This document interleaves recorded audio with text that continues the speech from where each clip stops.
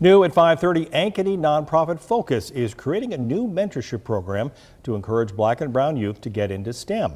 The program is called FOCUSS Scholars. Kids will be partnered with college students pursuing a career in STEM where they can ask questions about how to get their starts as well as what programs would be best for them.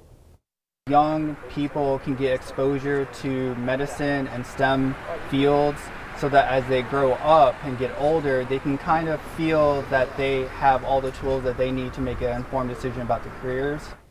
Each mentor will share their own story of how they've navigating higher education and sometimes in spaces where people don't look like them. The main goal is to encourage mentees that they can achieve anything they put their mind to.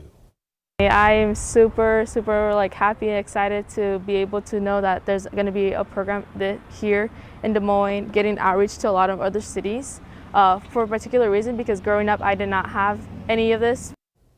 FOCUSS Scholars will be hosting an informational meeting at the end of the month. To get in contact with the group, we'll have their information on the KCCI website.